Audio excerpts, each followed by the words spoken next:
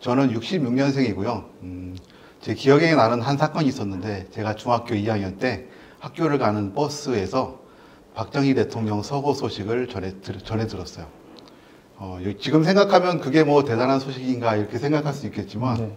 그 당시 저희들한테 박정희는 김일성과 동일한 아. 조- 그런 존재였거든요. 음. 북한에서 김일성이 절대적인 왕과 같은 자리에 있는 것처럼 음. 저희들한테는 박정희는 죽지도 않는 불멸의 네. 사람으로 이렇게 생각을 하고 있었어요. 그런데 그 박정희 대통령이 죽었다는 사실을 음. 어, 학교 가는 버스 안에서 들은 거죠. 그래서 음. 와, 과연 이 나라가 어떻게 될 것인가 이런 음. 고민도 했던 기억이 있고요. 음. 그리고 저는 86년도에 대학을 입학했는데 여러분들 잘 아시겠지만 87년도가 민주화 항쟁이 일어났던 그 시점이죠. 네. 그러니까 대학 시절 저는 대학 캠퍼스에서 낭만을 누리기보다는 대학 캠퍼스에 난무하는 최루탄과 음, 그, 돌아, 그 날아다니는 보- 보도블록 아. 파편으로 대학생을 했던 기억이 납니다. 음. 저는 또 당시에 크리찬 동아리에 있었기 때문에 어, 그 운동권에 있는 친구들과 약간 다른 어떤 관점들을 가지고 있었어요. 음. 이 나라를 힘이나 파워로 네. 변화시킬 수는 없다. 그래서 음. 음, 좀 더 평화로운 방법으로 좀 더 우리가 생각하는 기대하는 나라를 만들 수 있지 않을까. 그래서 한쪽에서 데모를 하고 있는데 네. 한쪽에서 손을 잡고 어, 교회 찬송가를 부르고 있었던 거죠. 아. 이 상당히 그 이질적인 모습이잖아요. 네. 그래서 그 당시에 친구들한테 많이 질타도 당하고 네. 운동권 친구들과 많은 또 그 실강이도 하고 그랬던 네. 기억이 납니다. 아. 그렇게 저희 대학 시절을 보냈고요. 그리고 이제 직장 생활을 시작하게 됐죠. 어, 저는 이제 직장 생활을 밥벌이라고 생각하는데 음. 사실 저는 그 이과 성향이 별로 강하지 않은 성격이거든요. 네. 네.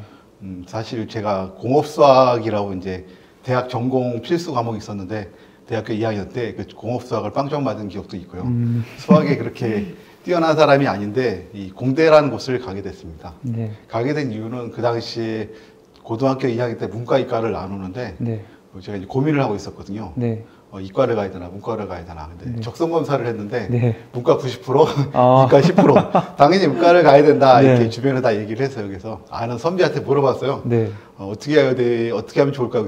그랬는데 그 선배 얘기가 아, 무슨 소리야? 그걸 고민을 해. 앞으로는 그 공업화 사회고 어. 산업화 사회이기 때문에 먹고 살려면 무조건 공대를 가야 돼. 네. 그래서 공대를 가려면 이과를 가야 돼. 그래서 음. 이과를 택하게 됐고요. 네. 그게 제 평생의 직업이 됐죠. 여러분들 어, 당시는만 해도 사실 고등학생들이 미래에 대한 많은 고민들을 하고 있지 않았어요. 지금도 물론 많은 생각 없이 대학을 가긴 하지만 그래도 지금은 이런저런 방면으로 공부를 좀 하고 고민을 하는 것 같아요. 근데 당시는 그냥 그 고등학교 졸업하면 대학교 가는 거다. 음. 그리고 뭐 자기가 선택한 과는 그 점수에 따라서 위에부터 쭉 해가지고 제가 이제 한뭐 300점 만점에 250점쯤 맞았다 그러면은 네. 그걸 딱 나오잖아요. 네. 배치표에 나오잖아요. 그쵸, 그 그쵸. 배치표에 따라서 대학에서 결정하는 거였고요. 음. 그렇게 해서 공호, 공돌이의 인생이 시작됐습니다. 음. 뭐, 그리고 함께 그, 입사를 했고, 네. 처음에는 엘리베이터를 설계하는 일을 했고, 한 네. 3년 정도 다니니까 약간 매너리즘에 빠져가지고, 회사 정말 다니기 싫다. 음. 네. 시점에, 네. 그 시점에 우연히 저희 아는 친구가 또 이제 현대자동차에 네. 다니던 친구가 있었는데, 면접 그 원서를 한번 넣어봐라, 이력서를. 음. 그래서 제가 먼저 다니던 회사에 총무팀에 가서 몰래 팩스로 네. 회사에 어, 이력서를 넣고 네. 한참 산업화 시대였고 확장되는 시기였, 시기였 기 때문에 네. 뭐 사람이 항상 부족한 곳이었고 음. 특별히 또 공대생들은 엄청 부족한 시점이었습니다. 그래서 음. 우연히 운이 좋게 현대자동차에 입사를 했고 연구개발본부에서 26년 때 일을 하고 있습니다. 음. 어, 총 30년 가량을 공돌이로서 차를 개발하는 이- 일을 하고 있는 거죠. 음. 그리고 제 삶에 굉장히 중요한 과- 그 포션이 하나 있는데 이 책의 사실 배경은 어, 기독교인들을 위한 책이었기 때문에 네. 어, 저희 교회 생활도 무시할 수 없습니다. 제가 초등학교 때 우연히 교회를 가게 됐고 그 당시 교회에서 어, 만났던 교회 선생님으로 인해서 교회 생활을 계속 하게 됐어요. 어. 사실 나는 그렇게 그 외향적인 성격이 아니라 가지고 네. 학교에서도 있는 동 많은 동 그런 네. 친구들 있죠. 네. 어, 있어도 그만 없어도 그만. 네. 오히려 학교에서 말썽 부리는 친구들은 관심을 받잖아요. 그렇죠, 그렇죠. 그리고 이제 상위권에 있는 친구들도 관심을 네. 받는데 저는 항상 중위권 한 12에서 22 정도의 음. 어, 그냥 놔둬도 알아서 잘 따라오는 네. 친구 네. 이런 존재였기 때문에 네. 어, 학- 초등학교 6년 동안 제 선생님들이 제 이름을 기억하는 선생님들이 없었던 것 같아요. 아. 그런데 교회 가니까 이 선생님들이 교회 선생님들이 아, 저를 네. 정말 한, 한 사람의 아주 소중한 음, 친구로 네네. 소중한 아이로 이렇게 돌봐주는 거예요. 어. 관심을 가져주고 네. 거기에 이제 거기 그 이유 때문에 교회를 계속 다니게 됐습니다. 음, 그리고 교회에서는 음, 음, 교회를 생활하면서 어, 제 청년부 시절에 이제 청년 시절에 대학에 아까 선교 단체 활동을 얘기했잖아요. 어, 어른이 돼서는 그때 그 꿈들을 교회 안에서 펼쳐보기 위해서 네. 많은 고민들을 했고 네. 교회 안에서 청년부 담당 20대 청년들 청년부를 담당으로 16년 16년 동안 음. 그들과 같이 생활하는 일을 했어요. 하다 보니까 그들이 굉장히 많은 질문들을 갖고 있더라고요. 네. 그래서 그 질문을 모아 모아 쓴 책이 바로 이 책입니다. 아. 그래서 저는 아, 제가 하고 싶은 얘기는 어, 저를 소개하면서 하고 싶은 얘기는 제가 어떤 작가적 소질이 될 소양이 있다거나 네. 어떤 전문 지식이 있다거나 네. 뭐 시- 어떤 굉장히 그 학문적인 바탕이 있는 건 아니고 네네. 말 그대로 그냥 보통 사람 옆에 있는 아저씨 네. 아빠 같은 사람이고요. 네. 그냥 제가 평생 살면서 느꼈던 것들을 아주 상식적인 수준에서 음. 책을 한번 엮어내 봤습니다. 아, 네. 아, 그러면은 이제 그, 아까, 아까 이제 문과, 이과 말씀하시면서 네. 문과 성향이 90%, 이과 성향이 10%라고 말씀하셨잖아요. 네. 근데 이제 현재 하시고 있었던 일과 평생 해오시는 일은 약간 이과 성향의 일이셨잖아요. 그렇죠. 네. 어떠세요? 이게 많은 청년들이 고민하잖아요. 내가 이제 뭐 문과 성향에서 문과를 가는 경우도 많고, 실제로 이제 좀 다른 삶을 산- 살아보시니까 그 적성에 맞게 사는 게 좋은가요? 아니면은 꼭 그러지 않아도 되나요? 음, 저는 적성에 맞게 살면 더 좋다고 생각을 해요. 음. 근데 그렇지 않다고 해서 네. 그 삶이 굉장히 네. 힘들어지는 건 아니라고 생각해요. 아. 그리고 네. 어, 우리가 알고 있는 학교 생활에서 배운 것들이 사실은 네. 사회에서 그다지 커다란 역할을 하지 않거든요. 네. 앞으로는 모르겠어요. 네. 앞으로 시대가 바뀌었고 네. 어, 또 워낙에 빠르게 바뀌는 시대이기 때문에 요즘 아이, 요즘 사람들이 습득하는 그런 것들은 네. 또 사회에 써먹을 수 있을지 모르지만 음, 제가 성장하던 시절에만 네. 하더라도 대학교에서 4년 동안 배운 게 네. 학- 회사에 가서는 정말 쓸 일이 별로 없었어요. 음. 제가 구조 5대 역학이라고 하거든요. 네네. 공대생들이 가장 어려워하는 5대 역학이 있는데 네. 구조 역학, 재료 재료 역학, 음, 그다음에 유체 역학, 네. 열 역학, 뭐 기체 역학 이런 네. 역학들을 배우는데 네. 거기서 배운 수없이 많은 식들을 가지고 식 유도하는 걸 배우거든요. 네. 회사 가면은 프로그램 하나에 어, 인재 하나만 넣으면 어떤 그 파라미터 하나만 넣으면 네. 결과값이 다 나오거든요. 아. 그래서 사실 회사 생활 자체가 네. 적성과 그렇게 중요하지는 않다고 생각해요. 그렇지만 음. 자기가 좋아하는 일을 한다면 또 성과가 있는 일을 한다면 네. 조금 더 재밌게 할 수 있겠죠. 음.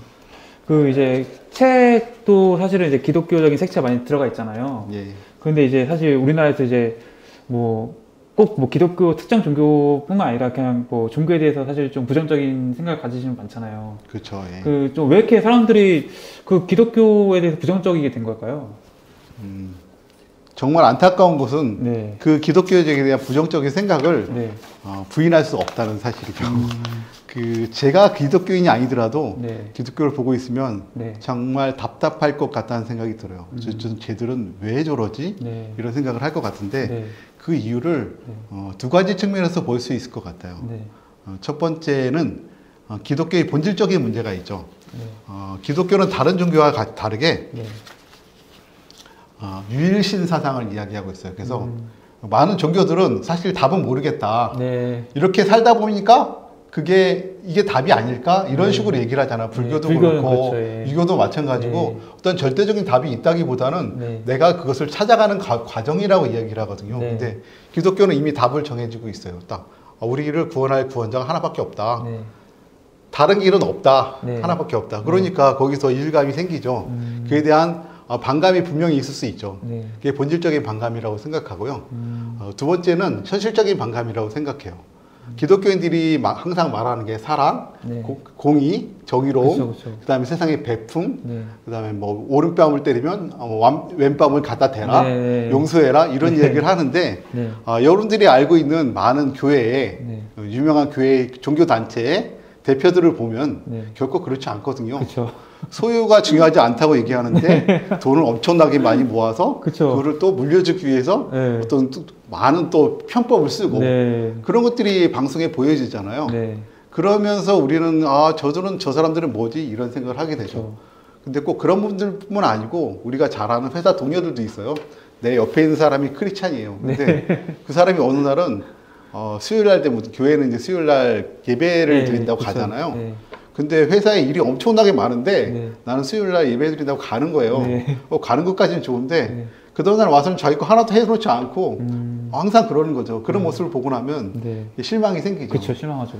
그래서 아니 예배가 중요한 거야. 우리 우리 같은 우리 이 멤버들의 어떤 공동체도 중요하지 그쵸. 않아? 이런 생각을 하는데 그 사람은 항상 우리를 사랑한다. 네. 우리한테 뭔가 많은 것들을 베푼다 음. 얘기하는데 정작 삶에 있어서는 그렇지 않은 거죠. 그래서 제가 이 책에서 결국 계속 이야기를 하고 있는데 네. 가장 큰 문제는 크리스찬들이 살아가는 모습하고 그들이 말하는 거하고 음. 같지 않다는 거죠. 음, 그쵸, 그쵸. 우리는 괴리라고 하는데 네. 그 괴리감이 있기 때문에 그들을 보면서 그 사람들이 말을 믿을 수가 없는 거예요. 음. 그러니까 자꾸 반감이 생기는, 거, 거죠. 네. 뭐 특정 정당을 이야기하기 뭐라- 뭐하지만 네. 아, 우리가 그 면, 작년 재작년에 굉장히 많은 실망을 했던 그렇죠. 게 실망을. 예. 정의를 부르짖고 그렇죠. 공, 예. 어, 공정한 세상을 부르짖던 그 사람들이 결코 정의롭지 않았고 공의롭지 그렇죠. 않았잖아요. 네. 그런 모습이 우리를 가장 실망스럽게 하는 것 같아요. 음, 약간 이제 사람들이 이제 그 뭐랄까요 좀 좀 기독교인이라고 하면은 좀 우리랑 다를 줄 알았는데 막상 이제 보니까 뭐 똑같더라 이런 약간 이런 똑같은 게 아니고 더하죠. 더- 어, 왜, 그, 제일 나쁜 게 알면서도 하는 네, 거잖아요. 그쵸, 예. 몰라서 그런 거. 나는, 어, 뭐가 옳은지 몰랐어. 네. 어, 그래서 얘기하는 건 괜찮은데, 어떤 게 옳다고 분명히 알면서, 네. 자기는 그것과 다른 모습을 살아가는 거죠. 네. 그런 모습들이 우리를 제일 실망스럽게 하죠. 아마 기독교에 대한 반감에 그 부분이 상당히 있다고 생각을 합니다. 그래서 이 책은 그래서 이제 작가님의 그런 이제 기본적인 기독교를 바탕으로 해서 청춘들이 좀 고민을 해볼 만한 거에 나름대로 답을 주신 거잖아요. 그렇죠. 예. 이제 그 질문을 하나 드려보도록 하겠습니다.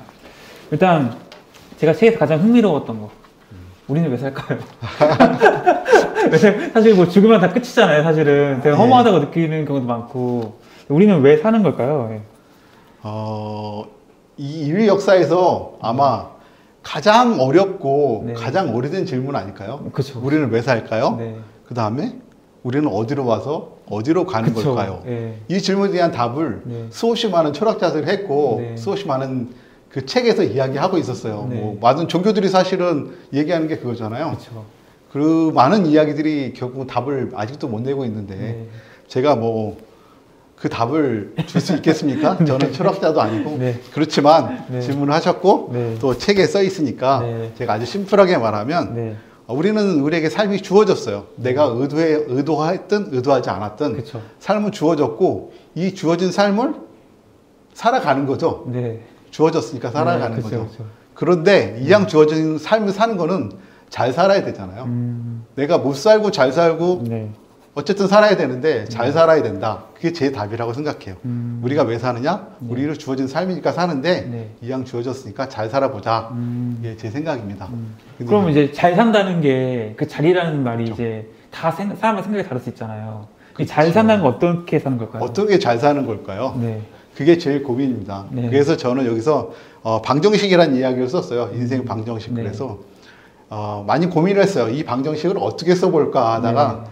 어, 굉장히 여러 가지 제가 공대생이잖아요. 그래서 네. 여러 가지 방정식을 고민했죠. 네. 함수를 고민했고 네. 그러다가 근데 복잡하면 싫잖아요. 그렇죠. 안 보죠. 어, 복잡하면 일단 보기 싫어요. 그래서 네. 심플한 방정식이 제일 필요한 것 같아서 네. 아주 단순하게 y는 ax n승이라는 표시를 했어요. 그래서 A라는 것은 바로 어, 방향성이죠. 네. 자기의 신념이라고 생각해요. 네. 뭐 종교인이라면 자기 종교가 될 거고 네. 종교인이 아니라면 자기는 어떤 삶을 살겠다. 음. 나는 뭐 베푸는 삶을 살겠다. 음, 나는 네. 부자가 되는 삶을 살겠다.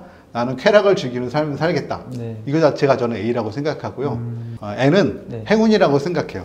음. 어, 어떤 사람은 동일한 일을 했는데 두 배, 세 배의 성- 성과를 내는 사람들이 있어요.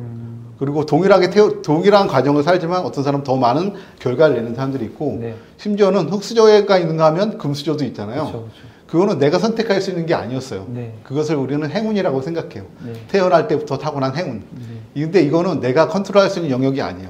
네. 내가 행운을 만들 수 그죠. 있다면 행운이 아니죠. 그렇죠. 그렇죠. 그래서 그럼 가장 중요한 건 뭐냐면은 네. 그 안에 있는 X라고 생각해요. 음. X는 X1, X2, X3 여러 개가 있을 수 있겠죠. 네. 그래서 저는 이 X를 여섯 개 여섯 개의 분야로 이야기를 했어요. 네. 첫 번째 나, 네. 그 다음에 짝 배우자가 되겠죠. 네. 그다음에 세 번째 가족, 네. 그다음에 일, 그 다음에 소유, 사회 음. 여섯 개의 분야로 생각을 했고요.